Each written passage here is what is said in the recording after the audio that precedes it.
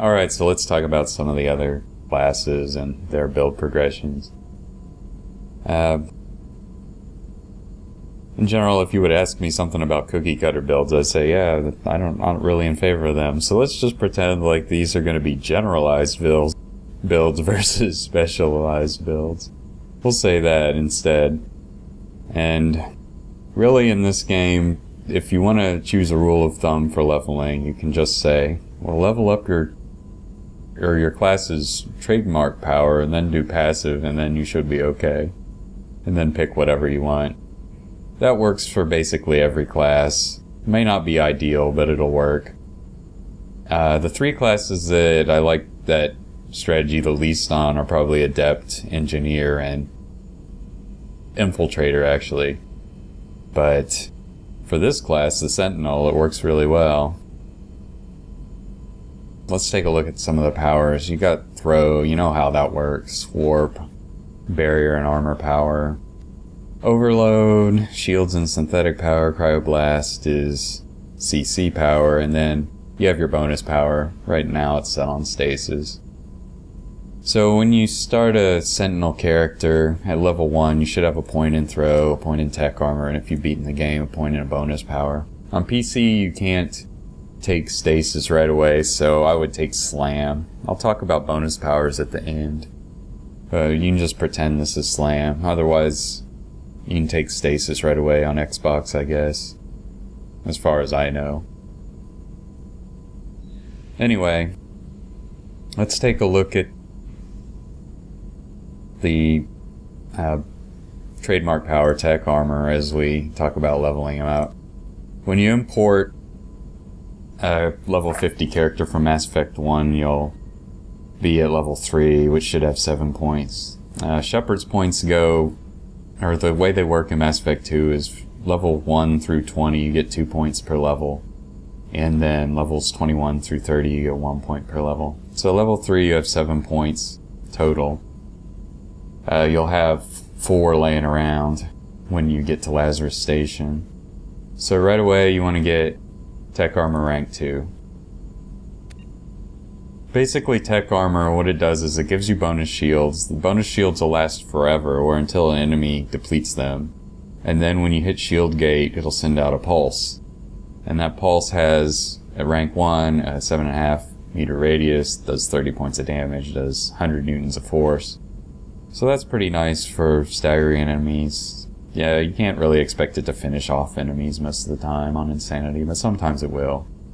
And when you activate it, you get 25% shields at rank 1. Anyway, when you're in Lazarus at level 3, just dump another point in Tech Armor rank 2, and that'll get you to 50% shield bonus, and then pulse radius 10 meters, damage 40, pulse force 130, so those are all trending in the right direction. The fun starts when you get to, whoops, Tech Armor rank 3. There's a little quirk that isn't even mentioned here. When you get to rank 3, then whenever you activate Tech Armor, it'll reset squad mate cooldowns, which is one of the best perks of any trademark power in the game. Supposedly that wasn't supposed to be in the released version of Mass Effect 2, but they must have forgotten to take it out, and we can benefit from that. It's also part of why Sentinel's one of the strongest characters for getting through Insanity. At least if you want to manage your squad somewhat carefully, because you'll have extra squad power spamming. The downside is what this does for the Sentinel playstyle. It makes it probably the biggest one-trick pony in the game. You can argue maybe Soldier still is, but with Sentinel, you're going to want to use tech armor about as much as possible. Get it destroyed, which also means close combat most of the time. It can be pretty fun though. So, you should be able to get pick up rank 3 of tech armor at around level 5, which is going to be where you're doing professor in a relatively typical run. So go ahead and get that. At rank 5, you'll have 11 total points, and you can even put one in passive, which is what I do. The, pa the passive defender, what you get is little health, and then you get power recharge bonus, which is the main thing, and then you get your charm or your Paragon or Renegade bonuses. So go ahead and just dump one in there. Your passive power recharge affects all of your powers and importantly it affects tech armor. But tech armor should also benefit from tech cooldowns once you research it.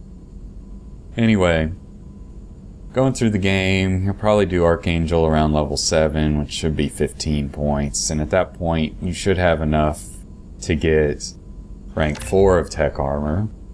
See, we're just pretty much racing all the way up tech armor. The enhanced evolutions at the end are either assault armor or power armor. Assault armor, armor is now rigged for maximum pulse when it's destroyed, increasing damage, force, and radius. It also gives additional shield boosts after detonation.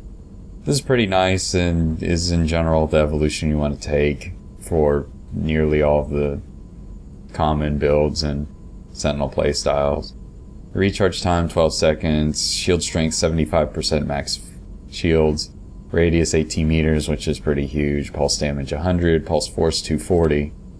And then after you hit shield gate and tech armor breaks, then you get 50% shields back, which is actually pretty cool. Power armor, the main thing with it is that while it's active, you get a damage bonus. And the other thing is that the activation shield bonus is 100% instead of 75%. So while tech armor is active, you have more total shield strength. You have more power damage relative to assault armor. Difference is when this blows up, the radius is smaller, damage and force is smaller. And really, this is more for a sentinel that kind of just wants to be tanky and then cast from maybe range or at least from cover.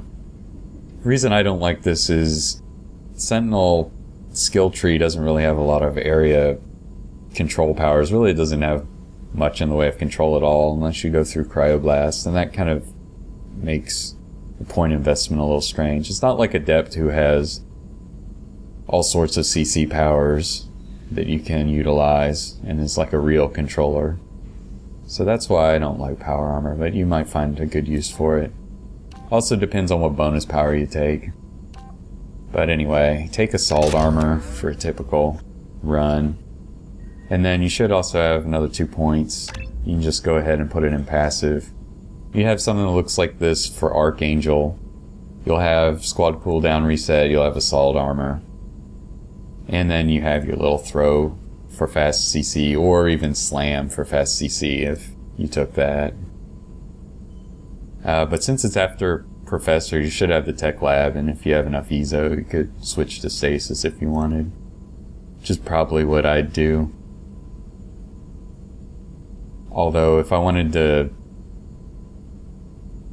I mean, my typical squad for for uh, Archangel is Mordin and Miranda, so if you left it on Slam, you do Warp Bombs with Miranda.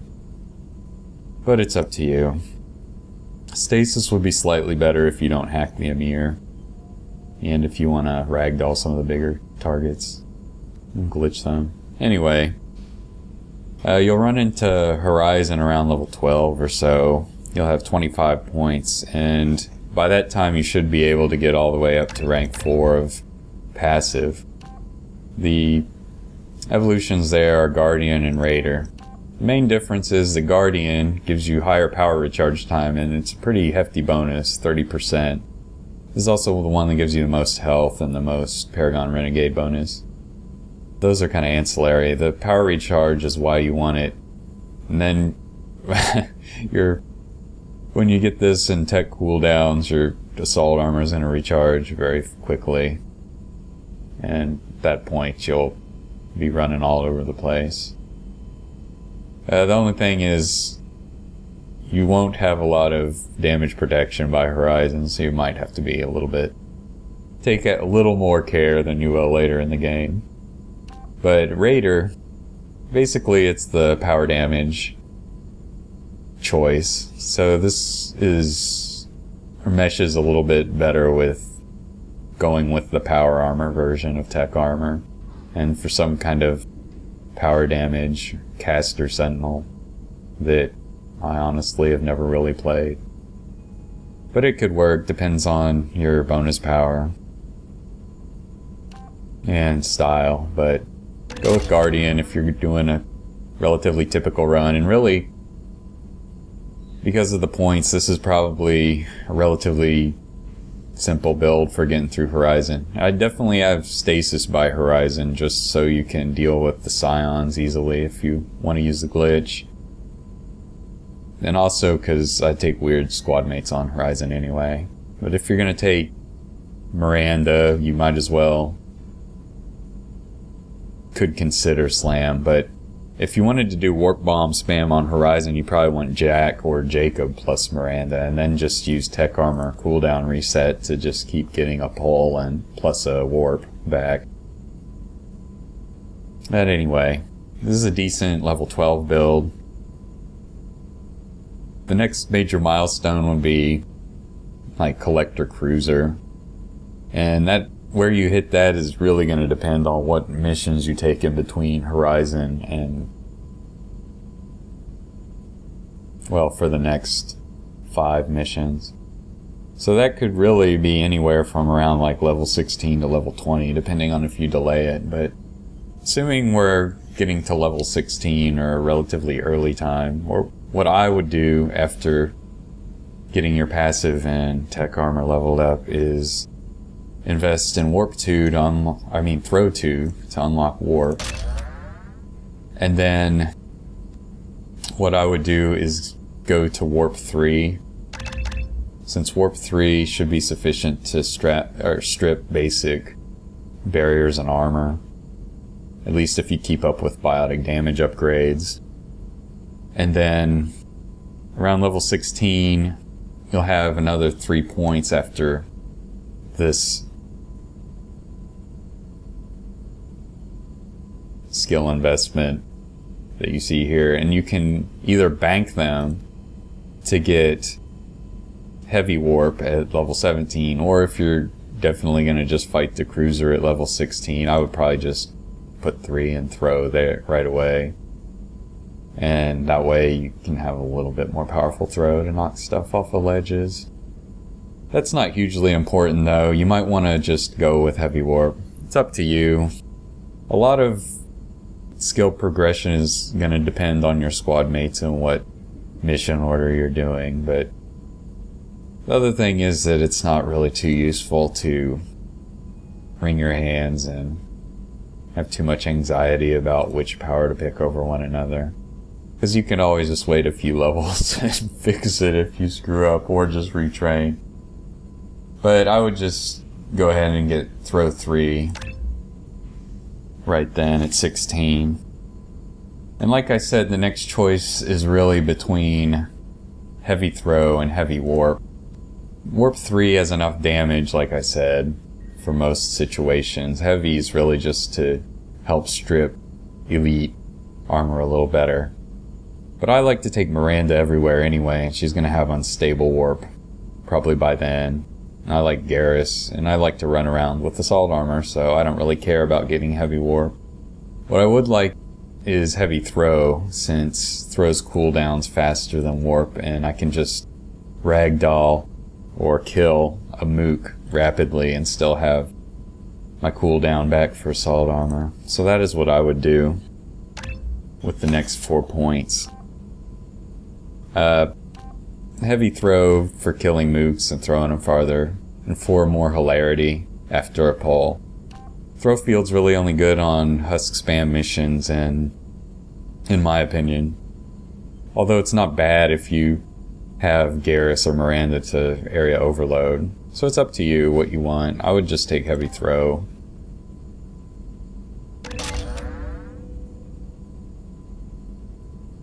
At level 20, you'll have uh, 41 points. And depending on what missions you're doing and what you want to do, you can either just get heavy warp right then.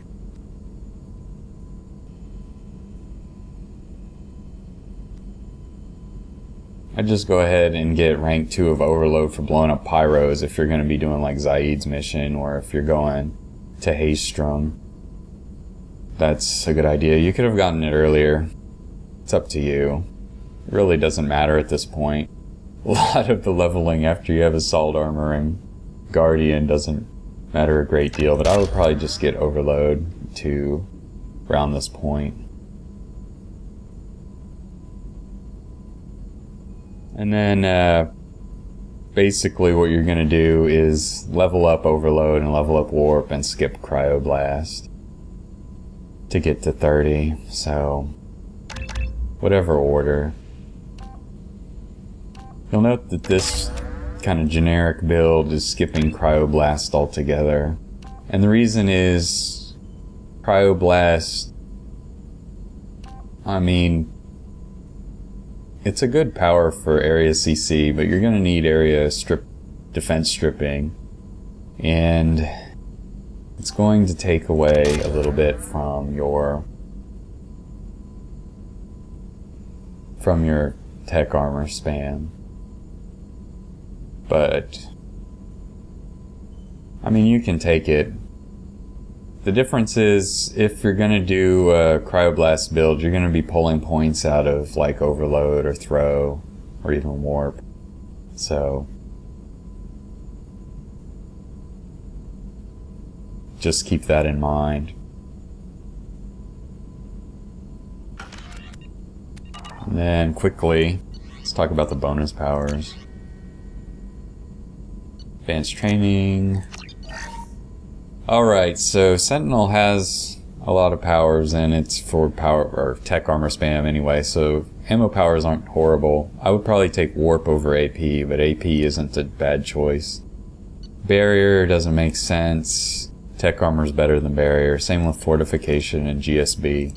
Slam's a good choice early game. It gives you a warp bomb primer.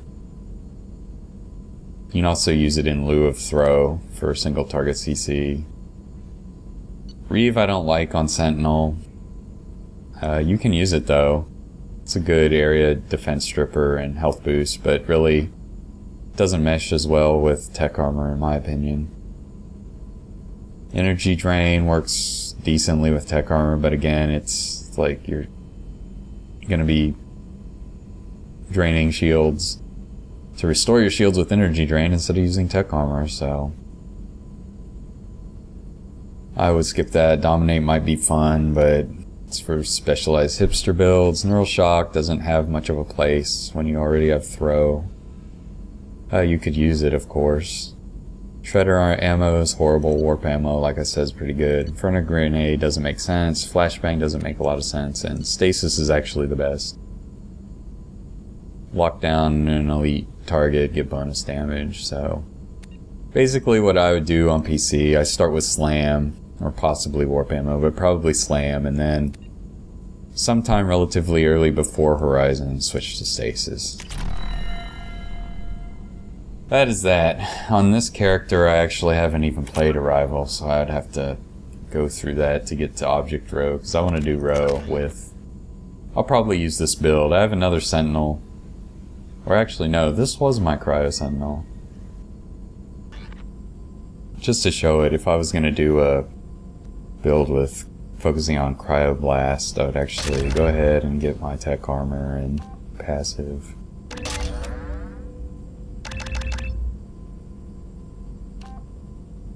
And then we'll just take Guardian, of course. Throw it, unlock Warp, Warp to 3. And then we get overload. Well, you skip warp 3 for, to get cryo flat faster, but anyway. We get to full cryoblast for area. Note that since Mordin's recharge time is four and a half anyway, he won't be quite as fast as Shepard because of differences in the passive, but he's still pretty fast. That's part of why I don't like cryo on Sentinel. You can just take Morden. But for fun, do it like that. And then what I like to do is just go ahead and get heavy throw on mine. So heavy throw for ragdolling single targets or possibly killing them. Full cryoblast for group targets. And of course assault armor for group targets. And that's how I like to build the cryo sentinel. Anyway, see you at object rho.